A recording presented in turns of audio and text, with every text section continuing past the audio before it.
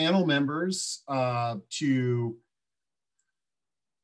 turn to join us. And uh, let me stop sharing my screen here. So we've got um, Mary Ann Buckley with Corewood Care. We've got Robin Mansfield with Aging Network Services. And we are about to see Karen McPhail with Edumentals. I and Karen, tell me how I pronounce that. It's Eldementals. It's like elements, yeah, or fundamentals of. okay, don't worry. I can I can mispronounce the last name Smith. So uh, welcome, and uh, we are we are really excited to feature you on this discussion. And just for the the audience. Uh, we we're I break these discussions into three rounds. Round one is getting to know the care managers and their organizations. Round two is the care managers just sharing interesting bits of wisdom or ideas or tips or what have you.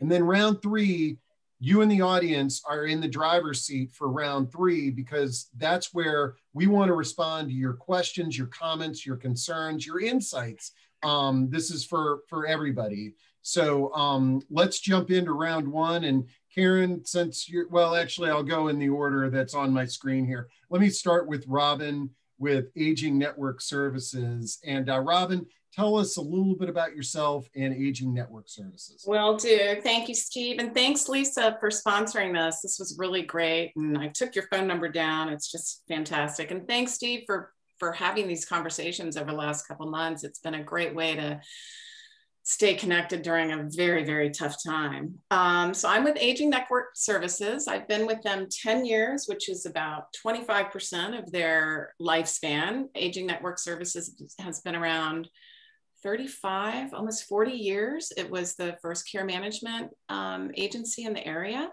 We are all master's level social workers.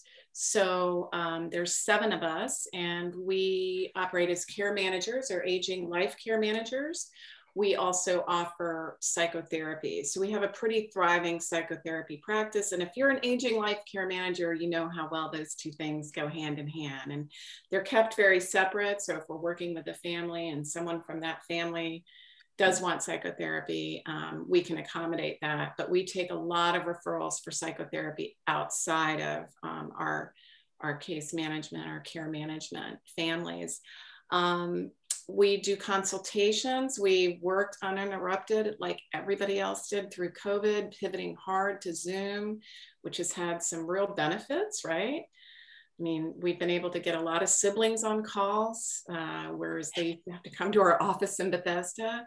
Now we can do a lot more sibling work. Um, we do consultation, care management, psychotherapy, short term, long term. And I think our bent is more psychotherapy oriented or, or psychiatrically oriented. Um, we do a lot of co- sibling conflict work. Um, and just the fact that we're all sort of psychiatrically um, we tend toward the psychiatric, all of us as um, master's level social workers. I say we tend to have a lot of families with those sorts of issues. Um, great. I've been there. Yeah, thanks. Oh, that's great. And uh, I, I'm sure we'll get into it, but you know, think about you know pre-COVID how most of us had never even done a telehealth consultation, and now we're doing them every day. It's amazing. So uh, we'll, I'm sure we'll dive into that topic. Um, so Mary Ann, I, I, got you next on the list here. Mary Ann oh. Buckley with Corewood Care. Uh, Mary Ann, tell us a little bit about your uh, your background and Corewood Care. Sure. Um, I have my bachelor's and master's in social work, and I've been working with older adults for about the past 30 years and um, I joined Corewood Care three years ago. Um, but it's it's a it's about a six year old company founded by Mary O'Donoghue, an attorney who was working but really felt that wasn't her passion. Um, she knew what caregiving was like because at the end of her father's life, he had caregiving. So she decided to go into the um, field of home care. So I think we're fairly unique in the area in that we have home care as well as care management, which is such a great um, service delivery. Um, I have um, five care managers on the team. We also have associate care managers and wellness partners, um, just to give a complement of services to our older adults as well as home care. Uh, we serve uh, Montgomery County, DC, and uh, Northern Virginia as well. Great. And uh, last but definitely not least, Karen McPhail with Eldementals. I got it right this time, I hope. Tasty. Okay, good. Well good. done. Yeah, Yes. by the end of the meeting, I, I'll say it without Eldemental. But uh, Karen, tell us a little bit about your background and uh, and your organization. Okay. Um, I'm a little bit different. I'm trained as a registered nurse. I have a bachelor's of bachelor's of science in nursing. I have a master's of science in nursing administration. Uh, I also completed studies as a family health, nurse practitioner, and I'm currently completing my psychiatric and mental health nurse practitioner certificate. That's kind of a you know a jumble of words, but clearly, you know, Eldementals is about really being clinical experts, and we are very clinically strong with what we do. Um, so a lot of people come to us really because they need a strong clinician, not just an advocate. Um, we've, we've been practicing in the DC metro area for quite some time. I have over 30 years of experience in the healthcare industry, and we've been doing virtual care management since, you know, the beginning. Um, so it's something that really wasn't tough for us during COVID. We continued to have our Doxy platform and have access for our clients. Um, so again, we really specialize in chronic care management. Um, we provide concierge style care management, so we're a little bit more focused on our clients um, and making sure that we're meeting their expressed wishes. Uh, we do long-term care planning, which is, a, is very different. Not all care managers do that, but we um, have been doing long-term care planning for quite a while. Um, we have a great uh, step-by-step guide and template for our clients that they can use to complete. And we work along with other, you know, uh, team members to really make that a holistic approach. Um, and then we also have a lot of other services in terms of, you know, we do capacity evaluations, we have strong home activity programs and programming, and uh, we do relocation services to custom fit things for individuals, along with, of course, traditional geriatric care management. So, you know, we're aging life care professionals and my team and myself, but we're also um, care managers for a variety of ages. We across the continuum. So um, that's something that's a little bit different. Um, i'm a certified uh, care, man- care case manager also. And um, kind of went into care management because of just really feeling a frustration across you know healthcare. I, I you know started out as an icu nurse years ago in transplant and actually worked with Tom Starzl and, and, and with UNOS and kind of forming those initial standards of practice and, and some of the things that we now do today. And I remember when the patients left the ICU feeling like, yikes, you know, what's happened? You know, I'd find out the statistics and how we were doing, but I felt lost. So, you know, over time, I started focusing my goals on being able to meet really the needs of individuals across the continuum of care and and being able to impact them i feel in a more meaningful way. So. that's great. Uh, thanks karen. And um, so that's round one. We've got to know our panel members here. And one of the things that i love about this is just to to see the differences in the practitioners and the differences in the practices and the similarities. Um, that's been one of the fun things about these discussions and uh, the back and forth amongst the, the, the, the panel members. But let's, uh, let's move to round two, which is sort of just share with us some insights, you know, that might be helpful to our audience uh, that's listening now, but also those that are going to be listening to the recording. And um, anything goes. And, and this is all the, also an opportunity for me to remind the audience that feel free to jump in with anything that you would like our care managers to comment on. Uh, you may have a client that you're working with that you want to sort of share some of the details. That would be fun. But um, but Robin, I'll jump back to you. Okay. What, what um, do you yeah, I, I, in thinking about this, I just felt like such a good time to take stock a little bit. And I just want to throw out, um, I've, I didn't add what I'd also done in my previous, I went back to school as a social worker mid-career, and I've worked with elders or older people since 1991, and I've done activities. I've done programming. I've worked for Marriott Senior Living. If you guys Oh, remember boy.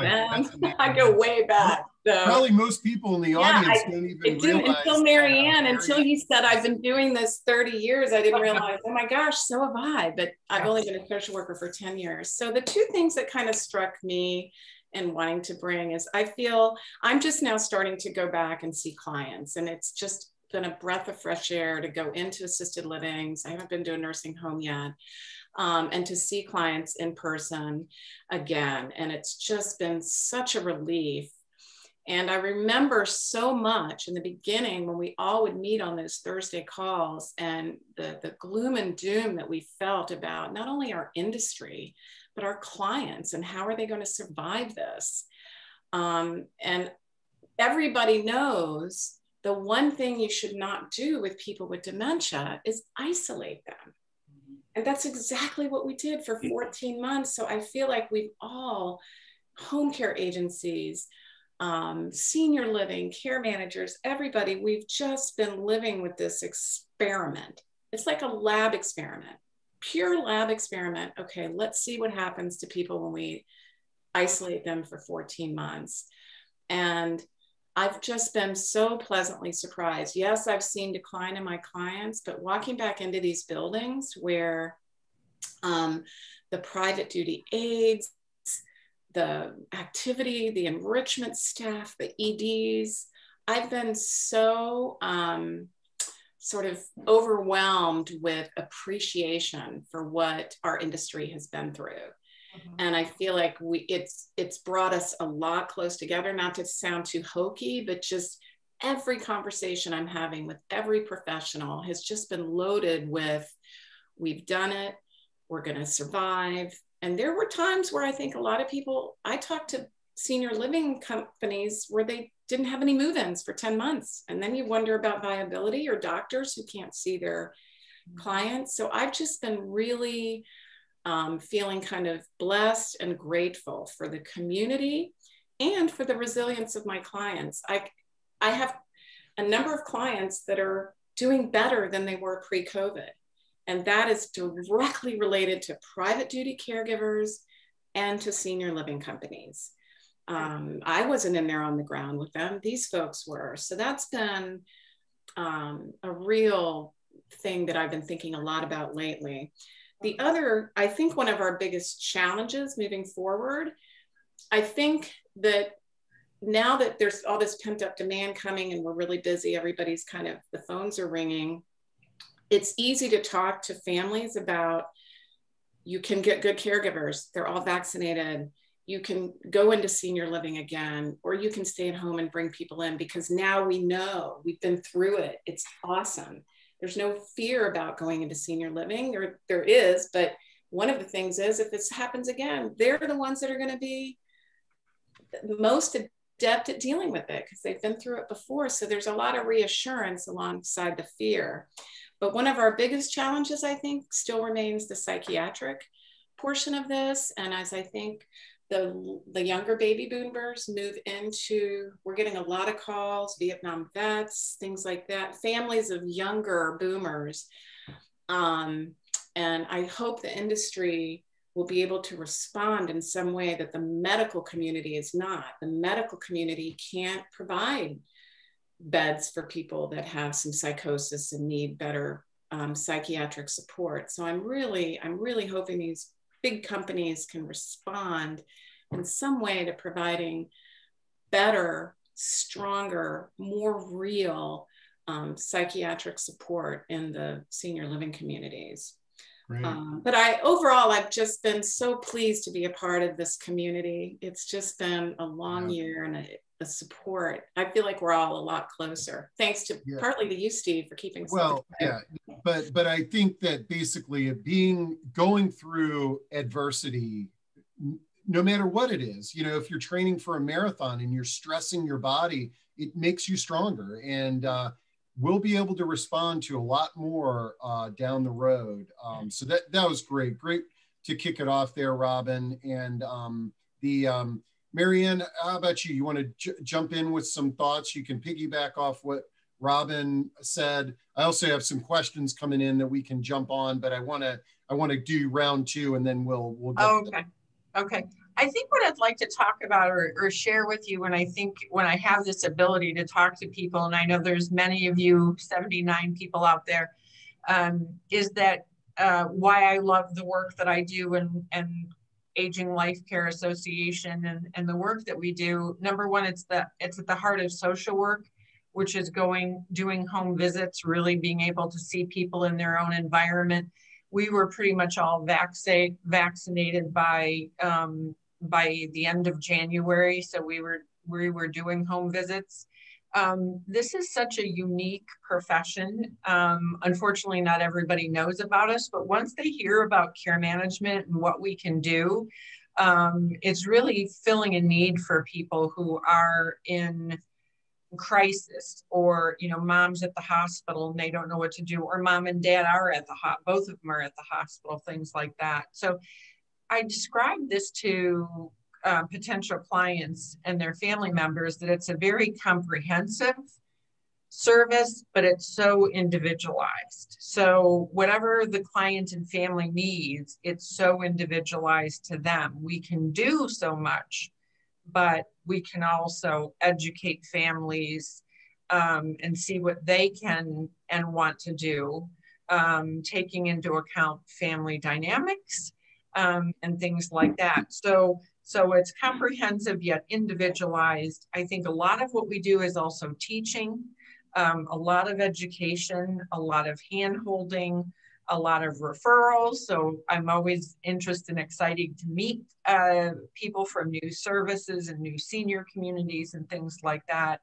Um, because I think when a call is made to care management, we know that, it, that an older adult is struggling and or the family members who live either close by but have you know the sandwich generation they've got the kids at home and mom and dad and things like that um, or they don't live in the area and they feel at a loss that nobody you know they're not able to really walk into mom's house and see what it looks like. So i think it's just um, we wear if, if we had to have a day where the three of us robin karen and i wore as many hats as services that we provided you would see we would see that um, children's book with all these hats on top of our heads because we provide different things to different uh, clients. So it can be talking about hospice.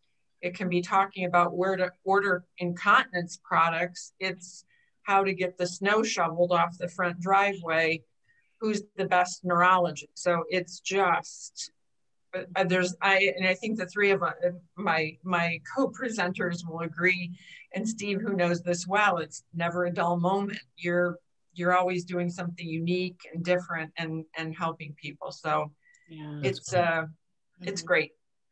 Excellent. And uh, Karen, uh, uh, jump in and and then and share share some thoughts, and then we'll start addressing some of the questions that are coming in.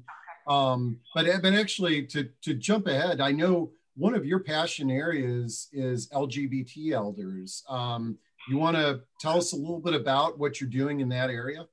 Well, yeah, I I I, I do, Steve. I, you know, it's been difficult. COVID has been difficult for everyone you know, but I will say, and I echo what, you know, what Mary Ann and Robin had, had, had said already, but, you know, I think one thing just to start as a care manager, um, it's kind of validated my practice a bit, to be honest. You know, the core of what we do as care managers are really, it's really a lot of planning and emergency planning is a key component of what we do as aging life care professionals. Mm-hmm. So for me, I felt like with Eldementals, it was tough, but we had already planned for our clients we had planned for their socialization in case of an emergency. We had planned for so many components, safe and home care, support in a care community, support in memory care. So we were really being proactive in our approaches. So we didn't feel like we had to be so reactive.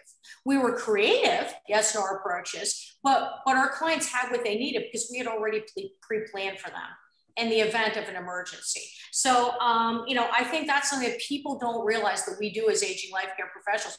We provide peace of mind because we have those holistic planning things in in place for, for virtual counseling, for other things to support the holistic aspects. So in terms of, you know, our clients, we did a lot, but our LGBT, yes, Steve, there, there were more challenges. You know, we have, you know, when you look at LGBT older adults, we have a whole history of mistrust not just of healthcare providers, of government officials, of, of, of all the programs that you would typically access during a time of this. So it was tough. I've worked a lot with Sage Care. We've worked with their Sage Connect program to do friendly calls.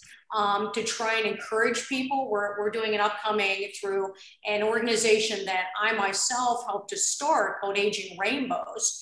Um, we're doing an upcoming SAGE table to um, really recognize LGBT older adults. We're going to, in the local DC metro area, provide even refreshments that they can safely pick up contact free to then, you know, share a meal with individuals and, and be able to network online in a safe environment um, you know, we're, we're planning wonderful things and we're trying to link LGBT older adults with, with programs that they feel safe through Aging Rainbows. Um, you know, if, if individuals are out there and you have clients that are LGBT, please take a look at agingrainbows.org because we have a lot of resources. We've been trying to create safe situations for elder care, safe situations for contact with primary care physicians, um, home care companies, and giving people choices for you know um, different assisted living and rehab centers and other you know environments for them to be able to age on their terms. So you know it has been a even bigger challenge for lgbt yeah great. I i know that many in the audience have probably seen it's an older film now but Gensilent oh. and if you haven't seen that it's such an eye-opening experience because elder care challenges are challenging for all of us. There's no doubt about that. But when you, in this documentary, they talked about how, you know, you saw how some families were separated um, from their family members because of their um, and again, I'm botching yeah. because they're LGBT. Okay. You know? Well, they do different, not to interject, Steve, but I know um, Joseph Applebaum, who directed, you know, obviously this, and actually is coming out with another documentary. I think it's called The Loneliness Factor or something soon. Oh, great. Um, it may even be out. I apologize to Joseph if it's already out there, but I, I um, it's a terrific, Gensilent is a terrific film. It should be seen by everyone because it really does detail the lives of I've had, I think it's like four or five individuals, and it shows someone who is dying from cancer and the struggles with home care and support and being estranged from their family of origin and what how that impacts them at the end of their life. It, it, shows someone caring for their loved one with parkinson's in a care community and and really hiding because they're afraid that they won't be accepted. They're afraid of what their loved one will feel like or be treated like in that care community.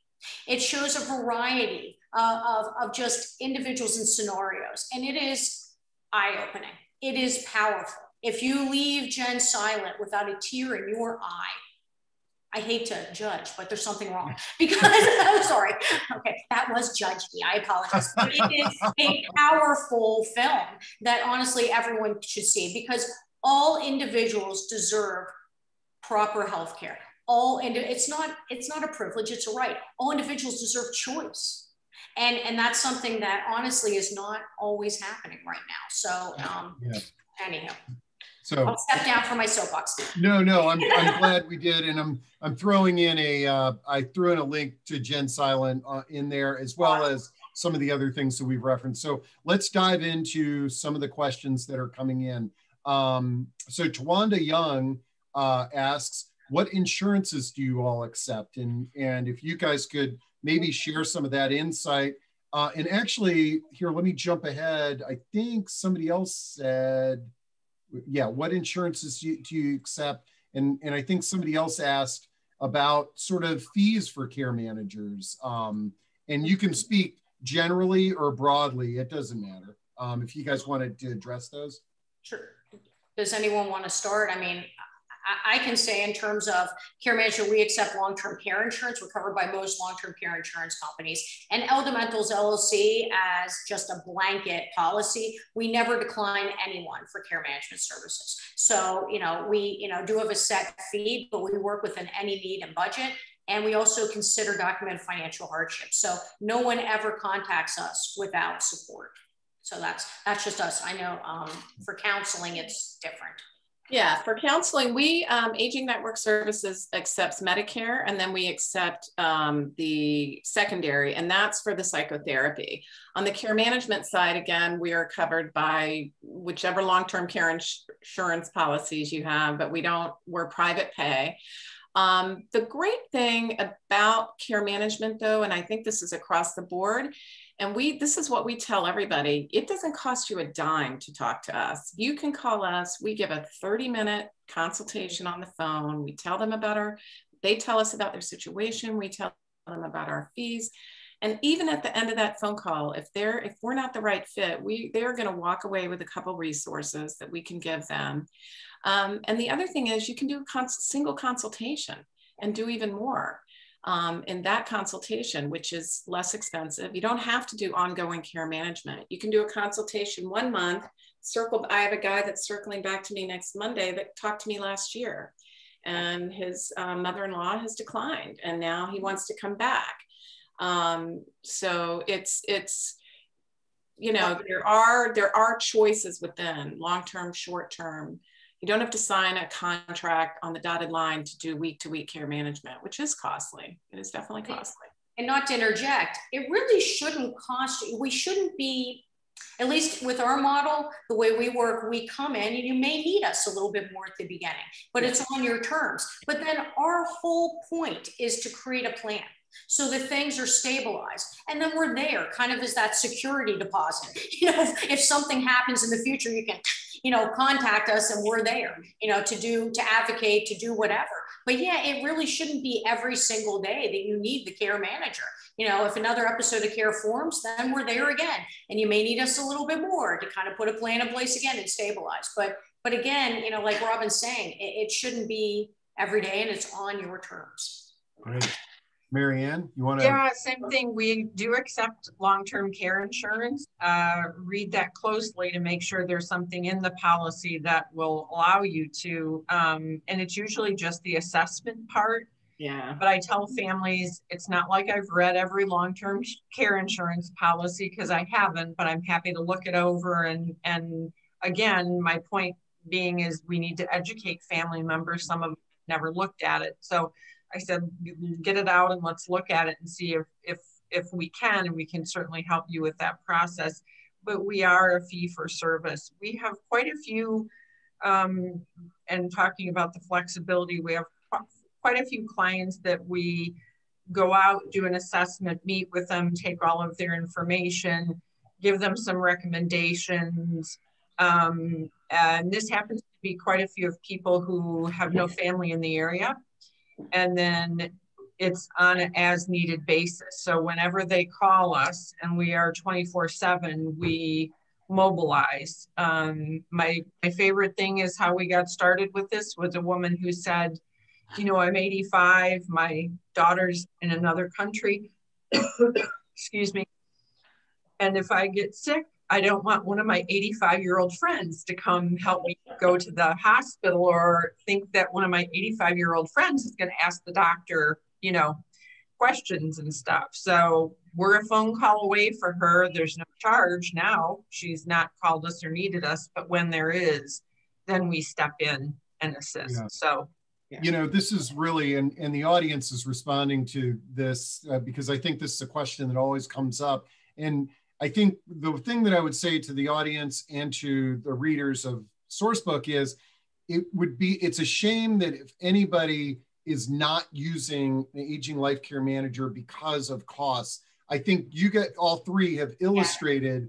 there are ways to sort of work within any budget. It oh, might oh, yeah. not be sort of the roll out the red carpet around the clock sort of consultation, but just little words of wisdom can make a huge difference and um, in in the ongoing care. Yeah, I mean, one thing I, would like to add, Steve, is honestly, as you grow older, or if you have a chronic condition, planning is key. I can't reinforce that enough to people. You know, having a one time just phone consult eh, or a one time evaluation to do long term care planning and having that document completed and having that all in place and having all the right associated parties to provide you with support is worth its weight in gold. And it costs very little. And and for some people honestly it costs nothing if they have financial hardship. So yeah. you know uh, and and some people have financial hardship. And honestly if you don't look at that and start planning for that it's not going to go away. It, it, you know it's going to create a problem where your expressed wishes can't be supported and they can be with planning See, can I give you a little gem from yesterday that's exactly what I'm talking about? I had a client, sure. a potential client who called. Her mom's in a place where there's not a care manager. She's really decompensating, lots of psychosis along with aging, and the daughters are all around. And so they're not sure if they're going to use us. They might move her here. If they do, they will. Um, but during the course of that conversation, she let me know that she calls her mom every day this is a woman with three little kids under the age of five. I call my mom every day. How long do you talk? Well, we try to talk at least two hours. Holy so cow. she is managing. She is, and when I get off the phone, then I found out my sister's also calling her every day, and they're talking two hours. And so that's the perfect kind of thing where a care uh, aging life care manager is going to say, you know, does that work for you? No, I'm exhausted. Okay, well, we can do a consultation around that one time working on boundaries, reading Barbara's book, how to set limits. Mm-hmm. And then we can work on a plan B. If she is going to move down here, we can give you some places to look. So it's like she would never, that never would have happened had she not called. She didn't realize that she had a different option, that she didn't have to call every day. Well, and this little gem of free advice that she, even if they don't engage us, she was like, oh yeah. my God, I never even yeah. realized that.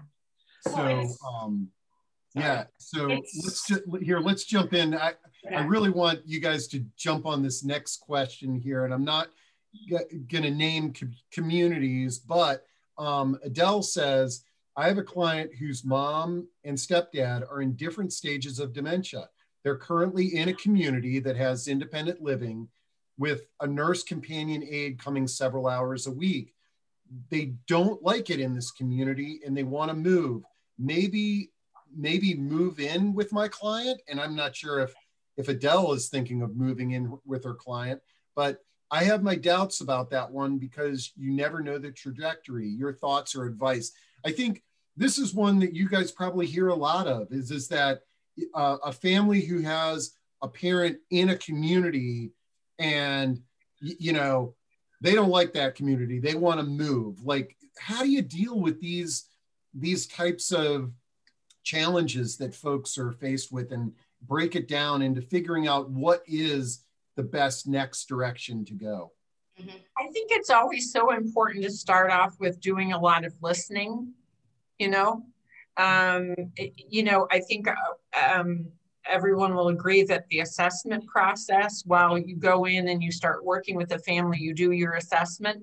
I'm also assessing the children, the uh, you know everybody within the support network of that family we're you know kind of doing an assessment on but we're doing a lot of listening to find out i mean we we have had clients over the years who have not liked their senior living community and they made a move and they didn't like the second one. You know what That's I mean? So my point. I wanted. Yeah, uh, I, am glad that one came up. Yeah, you just have to walk in with the, and you are the professional, and you are listening and talking with everybody in that community or environment, just to kind of figure that out. And it's the family dynamics and the staff dynamics and everything at play there so I always like to feel like we're going in with a fresh slate and a new set of eyes to look and then help help in that situation.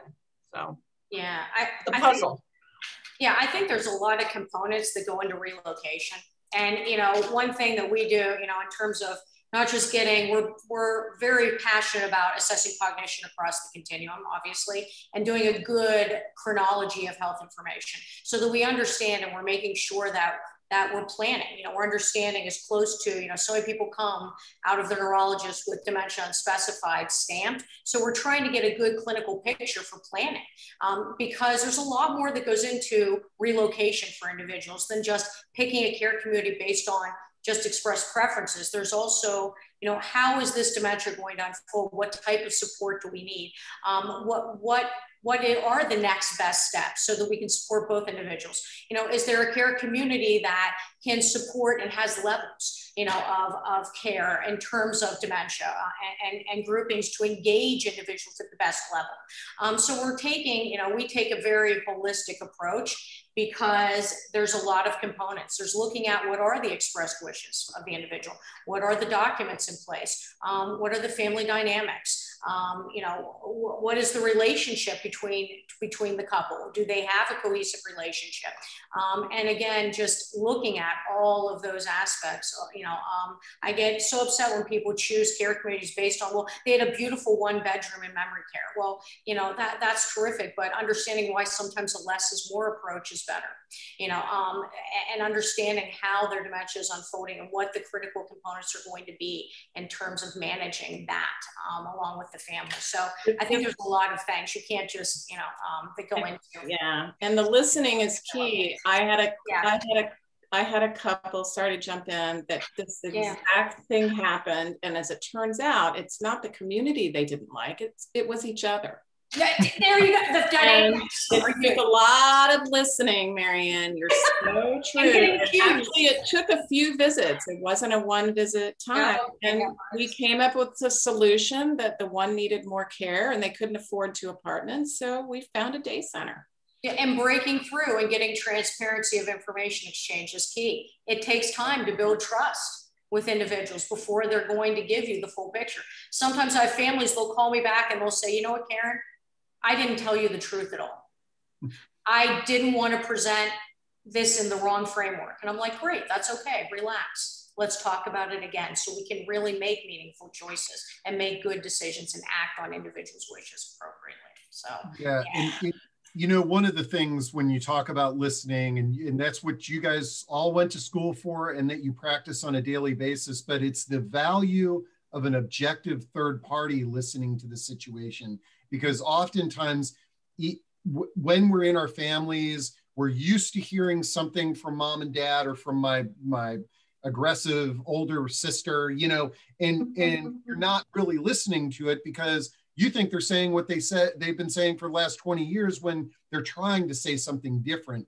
And that's where teams like you can really break through that. Um let's see we had a question. I, I, know you sort of addressed insurance and, and things of that nature, and I don't want to make cost a big thing here, but somebody just said, asked the question, what is the average general fees for ongoing care management? And, and I don't know if that's a question that you can answer, but I want to throw it out there. It depends on the client and the complexity of the situation and also what the client's expectations are you know um, I, think you know sometimes also in terms of of even doing an evaluation a capacity or a cognitive evaluation the time can vary. Generally after i speak with a client on the phone the first time or a family member um, we do get a little bit of information um, in advance of doing an evaluation or doing an assessment. And when families one of the things i ask them is are there financial concerns or constraints? Tell me about it. Because at the end of the game, you know, I think everyone, no matter how much money you have, you can spend it, you know, um, and, and that's something that care management also does maximizes funds. We kind of prevent people from making costly expenditures that, that they can do very quickly, accidentally, and they can add up. Um, but it, it depends. We can give individuals kind of an idea of listen, are these the type of services you want? And we even have a checklist, I'll be honest, Steve, to help with that.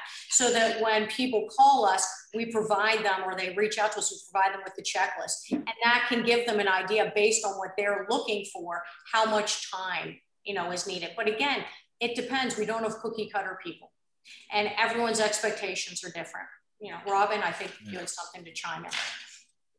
No, again, we talk to everybody for 30 minutes at no charge. And then yeah. it depends on the single consultation versus ongoing care management versus consultation. So I hate to give out fees because it turns, it can turn people off. It can, and it's expensive. It's fee for service. So, but again, um, sometimes just one consultation can make all the difference in the world. Um, yeah. Do you guys publish your fees, Mary Ann? Do you I publish? No, but I'll take I'll take a stab just because I've been doing care management for like I was trying to count up, and I think I think I'm in my 18th year. Um, so I would say over the course of years, I think if you ask generally in the metro area, I would say we're probably anywhere from 150 to maybe close to $200 an hour. Um, that there's a range there. You need to call places and talk with them. I talk with people on the phone and then I actually, no cost, no charge. If they seem interested, I go to their home um, and I can do that now, although I've had outdoor visits, patio visits um, during COVID, and sit down and talk with them. I, I think that's a wonderful thing because older adults, number one, don't know what care management is. I think they're relieved when they find out that I don't have horns and I'm not a mean lady and I'm not going to put them in a nursing home. Um, it's really that benefits us because then if they choose to work with us, then I've got a better idea uh, who on my team would be a good match. Um, and I've been in their home already. And when I leave, I say, look at if you're going to use our services now, you've met me, I'm the director. If you have any questions, any concerns, whatever, you know me, I've been in your home, please pick up the phone and call me. So that there's no charge for that. And sometimes they call us the next day to work with us. Sometimes it's the next month. Sometimes it's six months later when a, mm-hmm. and I know um, Robin and Karen are shaking their heads when there's a crisis and then they call on us. So it's yeah. just really making those relationships. So yes, we're a little bit different, mm-hmm. but I, that's the general range, Steve. Is that okay? okay? Yeah. And it's good. You know, I, I, I, they all, it always comes up on cost, whether it's this or the elder law, but it's yeah. just, it's like getting a home remodeling project yeah. hiring an attorney right. it, it's very difficult to sort of say oh this is how much it costs but i want to i know we got a hard stop at, at one in in 10 minutes and i i love this question that came in from an anonymous attendee. This is a good discussion question for y'all. Any advice for a family who's wanting to move their loved one from a senior community to another senior community? Boy it's a theme today. Who has dementia and mental health diagnosis and not willing to take medications to get them in a more stable state.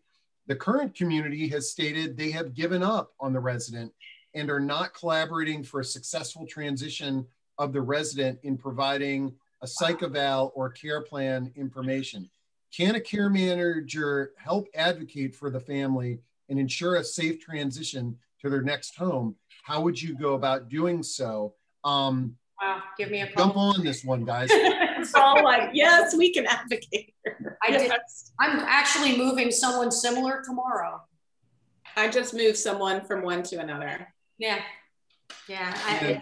Uh, but it sounds like, you know, one of the things that I always recommend care managers is in making a transition to any community, whether it's one to another or from your home to a community, you've got this advocate it, it based on the way that that was written, I'm wondering had they th- this family moved in with a care manager advocating for them, perhaps the outcome might have been a little bit different. Is is that um, Very you know you they need to, an advocate.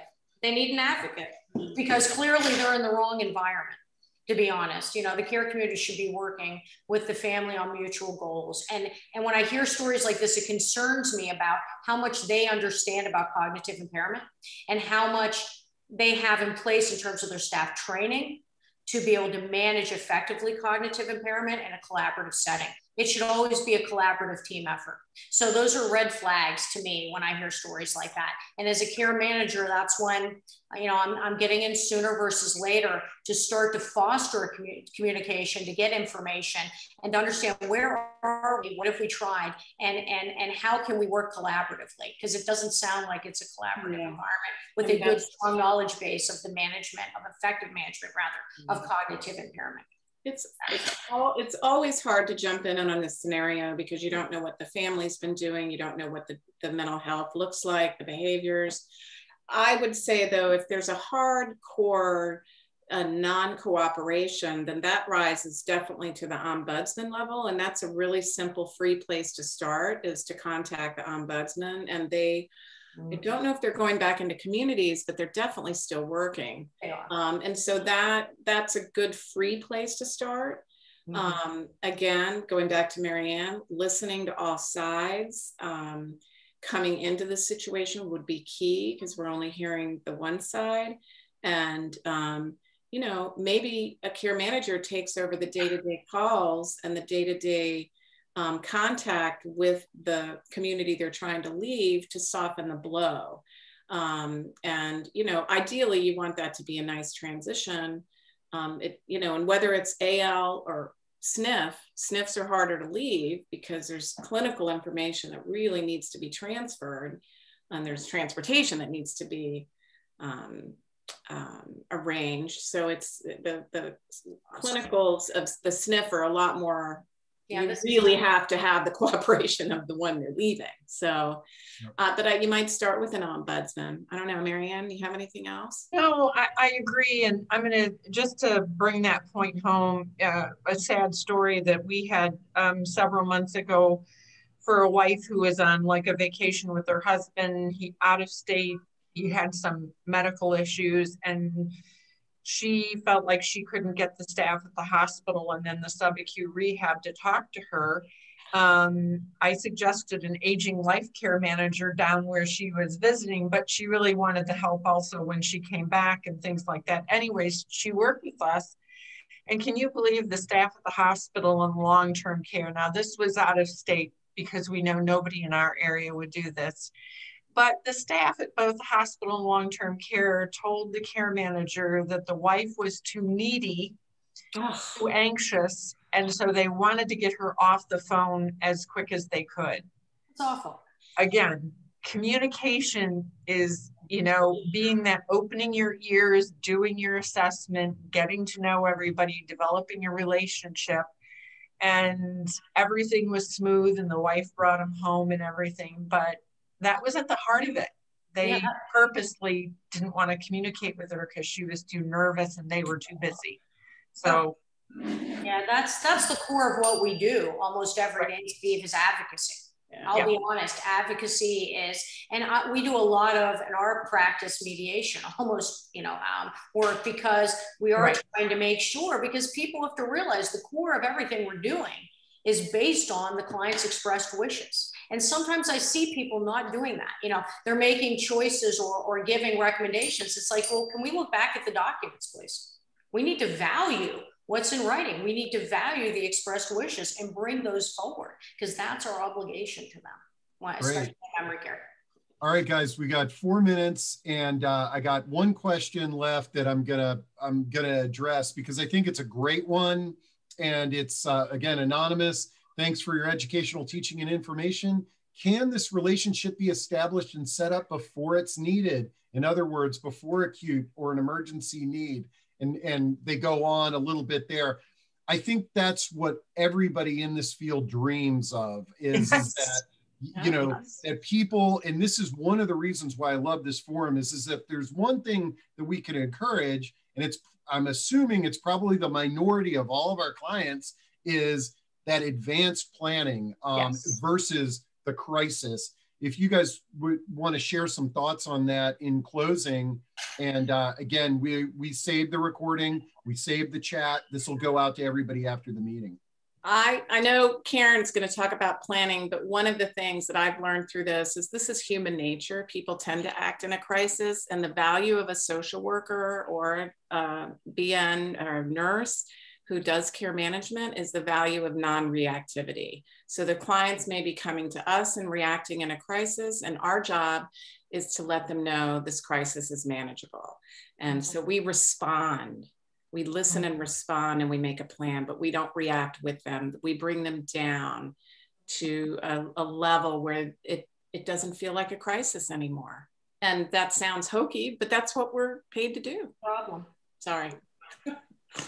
Work the problem you know i i i, agree completely I, I I say to my clients every day, planning is the key to success. If you don't know where you're going, you're going to end up someplace else. Hmm. Bottom line, you know. So uh, again, you know, if you have a chronic condition, you know, even at a younger age, um, or if you're an older adult, it's so important to sit down with the care manager and let them help you form that team you know? And and again yeah we create that calmness. You know people come to us they never call me because i'm having a good day you know? But we try and make it at the end of the call if they're not happy and if someone doesn't say to me gosh i feel a lot better I feel like I haven't done my job, you know, and I'll ask them at the end, do you feel better? Has this been helpful? And usually, yeah, we pretty much all the time get that yes, but it is important. And, and don't be afraid. If you're out there and you have financial issues or you have other limitations, eh, don't be embarrassed. Don't be afraid because if we hit these things head on, no matter what you have, no matter what your chronic condition is, or your financial hardship is, or limitations, we can find a plan and, and it will work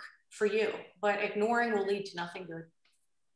Great. And Mary Ann, you want to say the last words on to plan or not to plan or anything? Yeah, I mean, I tell people all the time we would love to come in in a non-emergency fashion, but it's up to you and we can and we've got experience in both. Um, it would be easier and I think it's like Robin had suggested, it's people you know make better decision when there's not a crisis and things like that. But we also know that some people unless they're in a crisis they won't move forward. So whatever whatever they're wherever they are you know the social work we meet them where they are. So just let us help you. Doesn't matter where and when. Awesome. And look at that. We're it's right on one o'clock thank you to our panel. Thank you to CaptionCall for your support. Thank you yeah. to the audience for such good thought-provoking questions to get this panel of experts going. And uh, as I mentioned, we'll save the recording, we'll save the chat. We'll try to get that out this afternoon and um, spread the word that aging life care managers are out there to help. Uh, thank, yeah. Thanks. Thank you, Steve. thanks, Lisa. Thank you. Thanks for attending, everybody.